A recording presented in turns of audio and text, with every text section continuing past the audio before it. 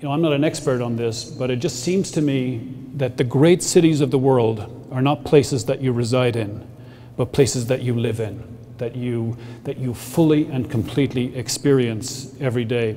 And I commend you for putting your time and investing in trying to somehow unravel the mystery of what the Edmonton of tomorrow and the future is going to be.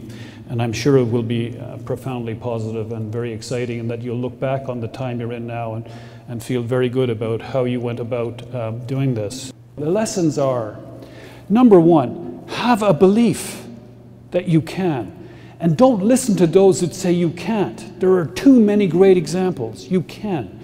And it's, it is in your hands to determine what it is that you want, to have that belief. The second one is you have to trust people. You have to let the public in. You have to decide that you are prepared to work that hard, to make this about everyone, to allow every person to get their fingers in the clay, to be part of this magic that you're trying to create. You can't just build buildings and think that that's going to leave behind a great legacy. Yes, it'll leave a legacy. Sure, it will. And, it'll, and you'll talk about it. But what, what really, the, the legacy you want is the human one, the one that touches your life, inspires people, makes you want to be a better citizen, makes you want to, you know, give more. Here's the thing. Here is the thing.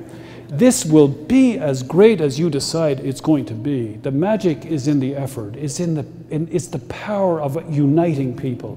When I look back at the games and I think about the arguments, the things we fought over, and I look at the result, and I, you, you realize that, that at the end of every great human endeavor, there is a reward. This is a terrific, look at this place. This is a fantastic city.